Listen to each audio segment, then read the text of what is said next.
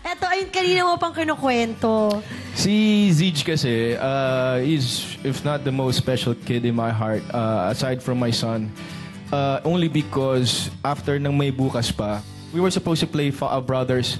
Pero sabi sa akin, at that time, with Noah for a show, okay lang ba kung tatay, tatay daw niya ako? And sabi ko, yeah, I mean, you know, if, if it's gonna make the show look better. So, yung bonding namin after may bukas pa, I think it was about five or six, Dumire-diretso yun. Nag one year yun. Tapos gumawa kami ng movie, 24-7 in Love, na para kami magbarkada. And then, uh, sumunod yung hawak kamay. So, siya yung pinang pinakamarami akong times na nakasama. Ah, Eto next! Si...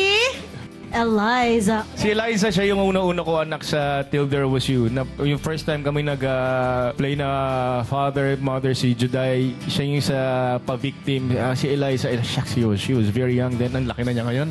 Oo, dalaga na. Ang Amazing. ganda-ganda pa. Sobrang cute na bata. Nasaan na ba siya ngayon? Eto, Papa P, parang gusto talaga na rin naming malaman kung ano naman ang maisishare nilang kwento tungkol sa'yo. Kaya naman kasama natin ang dalawa sa mga naging anak-anakan mo! Zijan Haranilia and Eliza Pineda. O ayan, hinahanap mo siya, Ayan. a.k.a. Pipa! Oh, hinahanap po Papa P ha. Ayan, o, bigay namin sa iyo. Hi! O, di ba? Sabi ko, oh. So sweet. Sige, sit down. Binata na si Zidge. Naiya. Amoy ni na si Zidge. Naiya. Amoy ni Zidge. Binata. Ilang taong ka na? 22. Hindi, joke lang. Kayo, anong may share niyong kwento tungkol kay Papa P? Kasi kanina siya yung nagkukwento tungkol sa mga ah, pinagsamahan ninyo. Gaano siya ka kabait or anong experience niyo? Um, nung magkasama po kasi kami sa NOAA, parang hindi ko pa po siya kilala masyado. Wala siyang hindi, ko- Hindi ko alam. alam na Oh, galing siya siya si sa may bukas pa. Pascual, hindi siya parang normal na tao.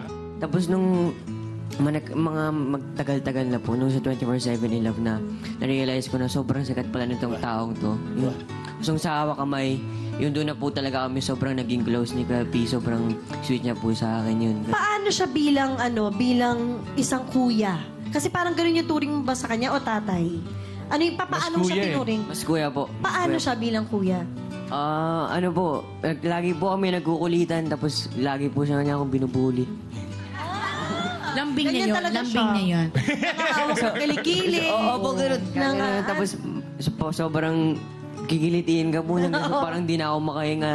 Sila dalawa po nung assistant director. Actually, na ano ako sa kanya na natatakot ako minsan kasi sobrang payat. Baka ma, ano ko, ma, ma-squeeze ko, ma, ma-fracture yung... Hmm, ganun po. Tapos, hawak niya ako na Nagigigil sobrang. eh. Ah, ganun. Si Eliza, Eliza, totoo ba na ang tawag pa rin sa'yo hanggang ngayon ni Papa P ay Pipa? Opo, kasi kapag nagkikita kami sa mga like events or photoshoot, Dalaga mga na siya. ganon. ano, laging, ah, minsan, lalapit ako sa kanya, Uy, Pipa! Laging ganon. At least hindi na kita kinakarga, di ba? Pero kaya niyo pa rin ba, gawin niyo nga ulit yung ano pa, victim? Oh, game. Sabi ko na nga, may papagawa to.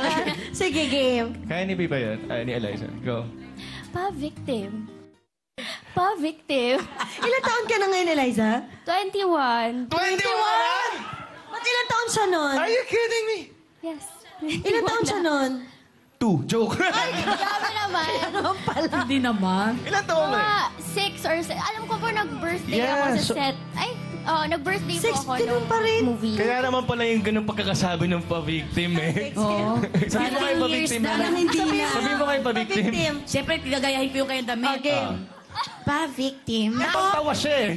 Di ba, May gusto siya. Ay, nung nilabas mo yon pa-victim yung kanta mo, tapos pag nilabas mo yung kilikili mo, kami yung victim. Sobrang saya. Oh, talaga.